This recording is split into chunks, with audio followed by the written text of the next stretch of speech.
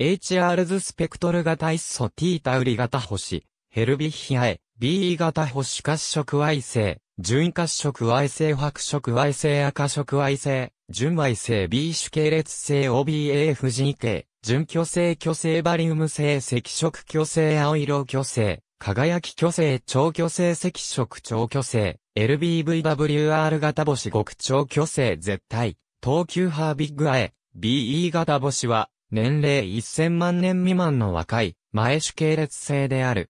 スペクトル型は、A 型か、B 型であり、まだ、ガスとゴミのエンベロープに渦漏れて、静周円盤に取り巻かれている。スペクトル中に水素とカルシウムの気線が見られる。太陽質量の2から8倍の天体で、星形成の過程にあり、主系列に至る全段階にある。HR 図上ではこの天体は、主系列の右側に位置する。1960年に初めてこの種の天体を特定したアメリカの天文学者ジョージ・ハービッグにちなんでこの名が付けられた。ハービッグによる当初の分類基準は次の通りである。今日では孤立したハービッグアイ、BE 型星がいくつも発見されている。そこで信頼できる新基準は次のようになるだろう。ハービッグア BE 型星の中には、はっきりとした変更を見せるものがある。これは、静周円盤の分縮模塊によると考えられている。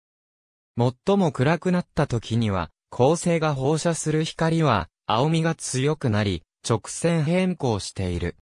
このハービッグアイ、BE 型星と太陽関係にある、小質量天体が T タウリ型星である。これはスペクトル型が FGKM の前種系列性である。逆に8太陽質量より大きな全種系列星はまだ観測されたことがないが、その理由は、これが極めて迅速に進化するからであろう。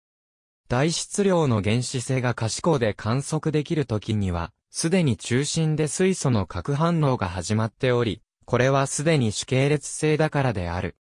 AB シリーズ現代の天文学別館天文学辞典、日本評論者、大愛版大挨拶、318ページ。